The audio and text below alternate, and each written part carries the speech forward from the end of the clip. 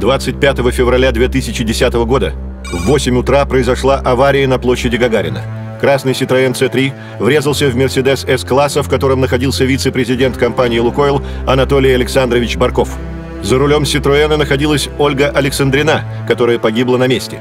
На пассажирском сиденье находилась ее свекровь Вера Сидельникова, которая от полученных травм скончалась через несколько часов в реанимации. Анатолий Барков был госпитализирован с ушибом ноги. Столкновение трехтонного «Мерседеса» и маленького «Ситроэна». Для многих, казалось бы, виновник аварии очевиден. Но что скажут эксперты? Мы тщательно исследовали обстоятельства аварии и пришли к такому выводу.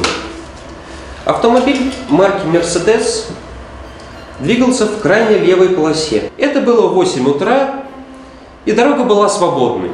Центр. В область, обходя пробку, двигался автомобиль марки Citroёn с явным превышением скорости. Внезапно гражданка Ольга, сидевшая за рулем Citroёна, потеряла управление и врезалась в автомобиль марки Mercedes. От страшного удара автомобиль развернуло, а трехтонный Мерседес вытянуло на встречную полосу и отбросило на несколько метров назад. Вы видите из следственного эксперимента, виноват водителя автомашины марки Citroёn. Для многих не секрет, что почти все улицы Москвы находятся под пристальным оком камер. Вот фрагменты записей тех роковых минут с нескольких камер наружного наблюдения, расположенных на Ленинском проспекте.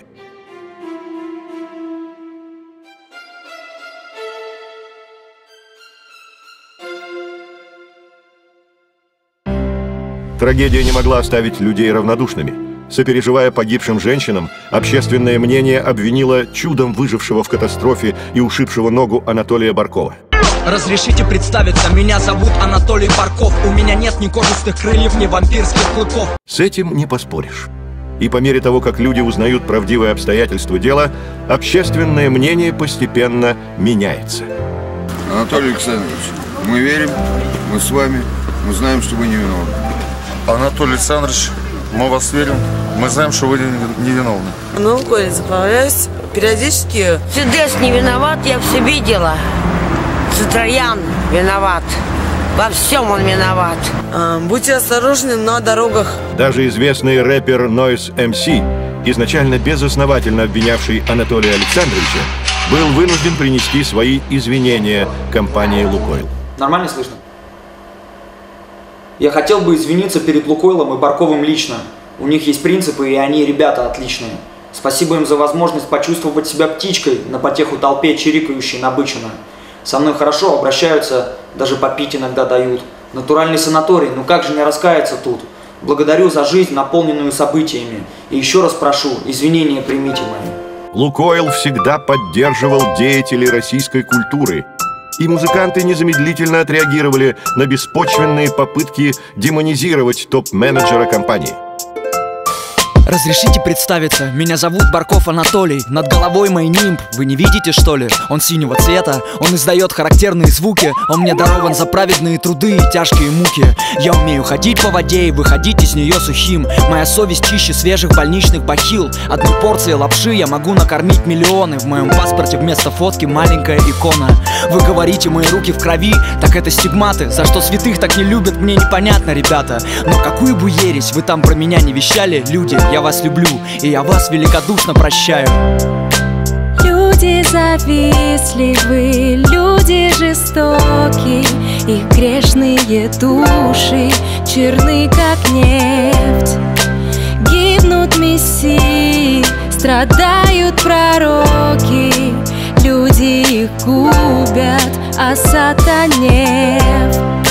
Люди безжалостны, за пазухой носят все. Оставьте в покое ни в чем не виновный Мерседес 777 777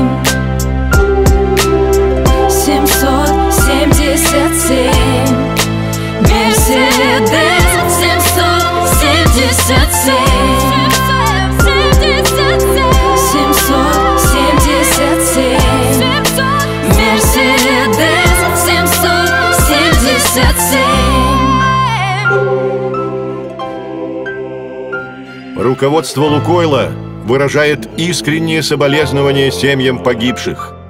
Жаль, но не в наших силах было предотвратить трагедию. Но что в наших силах, так это продолжать доставлять вам самый качественный и самый дешевый бензин прямо из бездонных недр нашей с вами богатейшей страны. Лукойл предупреждает. Будьте осторожны на дорогах.